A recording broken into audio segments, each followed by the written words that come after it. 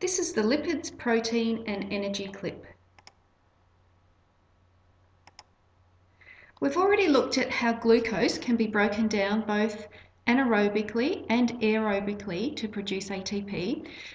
This next series of slides is looking at how fat and protein can also be used to provide ATP for the contracting muscle cell. Lipolysis is a term to describe in very simple terms the breakdown of fat.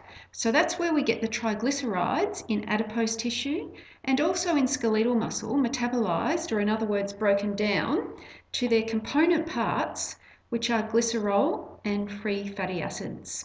If we just take a look at the photograph here, you'll see there's a pair of skin calipers which are pinching on skin and the subcutaneous fat and connective tissue beneath the skin. So this is what we call our adipose tissue, or in other words, that fat tissue or the fat stores beneath the skin. In terms of the triglyceride molecule, if we take a look at the chemical structure here, it's made up of a glycerol backbone, which is shown here in the red, and three fatty acid chains, shown here in the blue. It's the fatty acid chains that provide the most energy for the cell. And that point is written down here on the bottom right hand side of the slide, where free fatty acids serve as the major energy source derived from lipids. So when we're breaking down fat for energy, we're breaking down triglycerides. These triglycerides are stored as adipose tissue or stored in adipose tissue. And when we break them down, for the most part, we're trying to access these fatty acid chains because, as I said, it's these fatty acid chains that are important for providing ATP. These fatty acid chains are made up of hydrogen and carbon atoms. So once again, it's the accessing of those hydrogen atoms that become important for providing large amounts of ATP. And as you'll see in the slides to follow, if you've understood how glucose provides energy aerobically for the cell, then it's very, very similar for fatty acids once we get through the first metabolic pathway. So key point from this slide is that lipolysis is the breakdown of fat and in terms of the fat that provides energy during exercise, it's the triglyceride molecule and more specifically the fatty acids within the triglyceride molecule. You don't need to remember any of the chemical structures shown here other than a triglyceride is made up of a glycerol backbone and three fatty acid chains and it is the hydrogen that needs to be accessed in these fatty acid chains to provide ATP. And that will become clearer in the following slides. Lipogenesis is the opposite in that it's the formation of fat. And as I've already mentioned, most fat is stored in the form of triglycerides in adipocytes, so in other words, the fat cells in the body. However, some triglycerides are stored in muscle cells. And fat represents the major form of energy storage in the body. Remember that there are three fuels that can provide energy glucose, fatty acids, and amino acids. Importantly, we store glucose as glycogen, remember in the liver and muscle. We store fat as triglycerides in adipose tissue, but strictly speaking, we don't store amino acids as a fuel source. We can access them from example skeletal muscle, but amino acids are not stored like fat and glucose is stored in the body. This schematic here shows how excess glucose and amino acids can be converted into fat. Most of us know that if we eat too much sugar or if we consume too many high energy foodstuffs, then we can gain weight. This flowchart shows the pathway for how that happens. So for example, if you had too much glucose in the diet or too many amino acids, they can both be converted into acetyl-CoA. And hopefully you remember this term and remember that acetyl-CoA was converted from pyruvic acid in the mitochondria and acetyl-CoA is the substance that enters the Krebs cycle in the mitochondria. When acetyl-CoA enters the Krebs cycle in the mitochondria, it's further oxidized to produce NADH and FADH, and remember 1 ATP per turn of the Krebs cycle. So that's when it's broken down. However, acetyl-CoA is also used as a subunit for building or synthesizing fatty acids. So excess glucose, excess amino acids can both be converted into acetyl-CoA and then that acetyl-CoA can be used, or many acetyl-CoA molecules can be used to produce a fatty acid. So now on to the aerobic metabolism of lipids.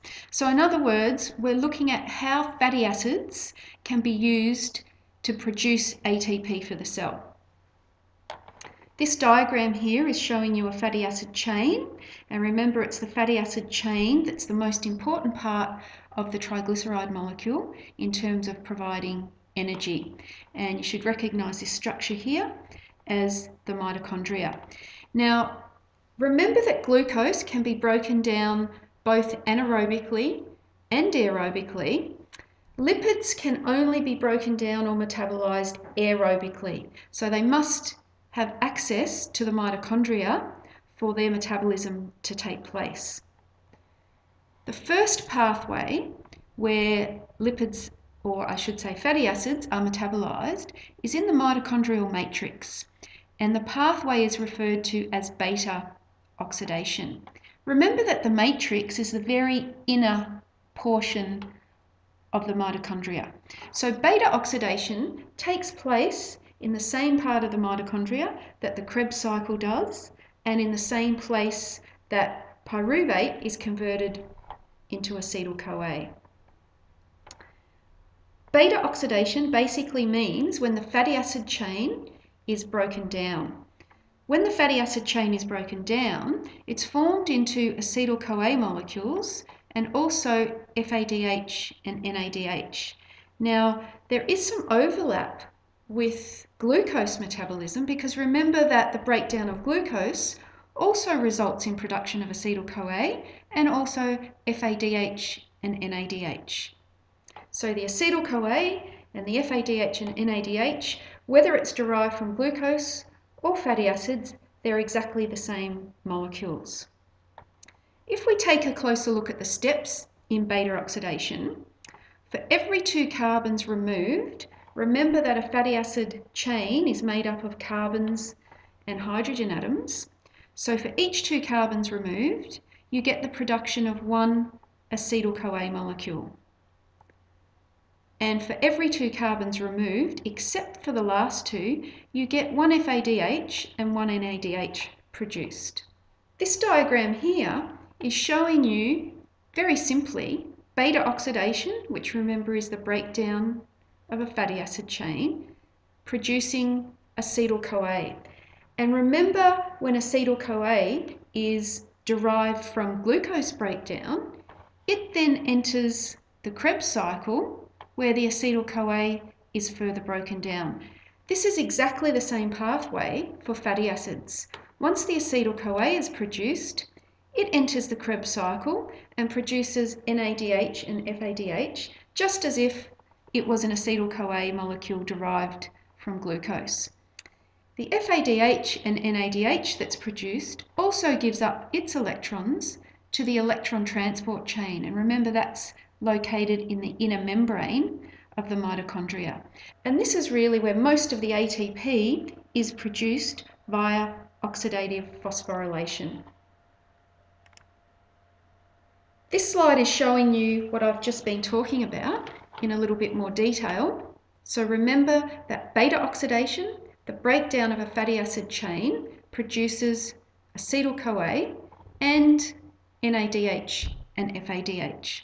So just like with glucose, the acetyl-CoA enters the Krebs cycle, and for each turn of the Krebs cycle, you get three NADH, an FADH, and one ATP.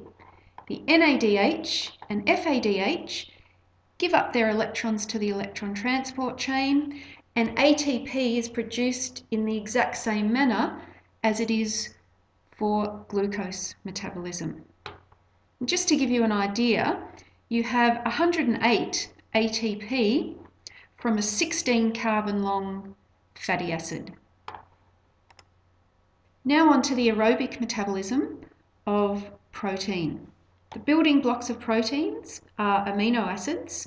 So if you imagine this protein taken in in the diet, the protein is broken down to individual amino acids. Those amino acids can then be converted into pyruvic acid, shown here, or acetyl-CoA, shown here, or Krebs cycle intermediates. And by that we mean substrates within the Krebs cycle. So again, you should be familiar with these terms and the Krebs cycle. So amino acids can produce energy via pyruvate acetyl-CoA and the Krebs cycle intermediates. And again, the NADH and FADH that are produced give up their electrons to the electron transport chain and produce energy in the same way as aerobic metabolism of glucose and metabolism of fatty acids. Another key point to note is that amino acids, like fatty acids, can only be broken down aerobically, and that's why they require the mitochondria and also oxygen. So, glucose again can be broken down anaerobically and aerobically, but fatty acids and amino acids can only be metabolized aerobically. It's recommended now that you attempt the quiz on LMS called Lipids, Protein and Energy. And when you're happy with your understanding of this topic, you can move on to the final clip in bioenergetics, which is sporting events and aerobic anaerobic energy contributions.